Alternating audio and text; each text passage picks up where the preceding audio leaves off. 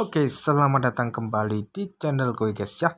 Oke boy, jadi di video kali ini kita bahas lagi kode rhythm yang kalian inginkan boy ya. Buat kalian yang ingin menyelesaikan event di